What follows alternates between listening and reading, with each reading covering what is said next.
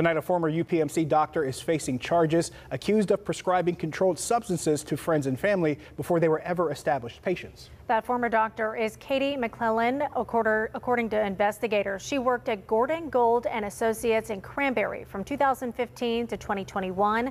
There, police say she prescribed highly addictive drugs to at least four men over an eight-year period.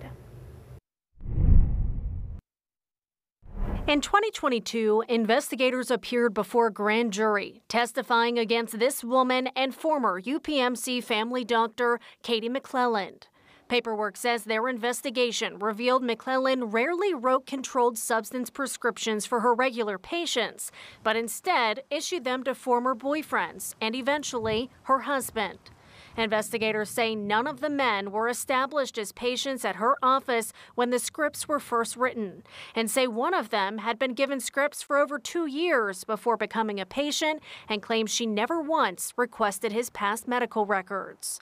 Another man, whom police say was her husband, died in 2022 of a drug overdose, just over a year after meeting McClellan. Paperwork says he had been in recovery, and McClellan was aware of his struggles with addiction when they met. Yet one month into the relationship, she allegedly began writing him scripts, totaling over 35 prescriptions in a span of five months. According to paperwork, her husband died one week after McClellan checked him out of rehab to celebrate her birthday with her. KDKA talked to Fayette County Drug and Alcohol, who says education on substance use disorder in the medical community is limited.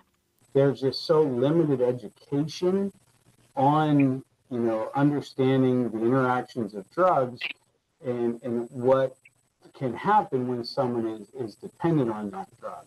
Um, and again, they think that it's okay, I know better, and, and they don't.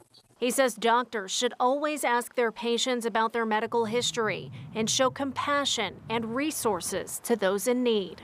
But they need to ask these questions. You know, uh, when was the last time you had a drink? When was the last time you had a drug? You know, even marijuana, you know, we tend to minimize this, but we should look into it.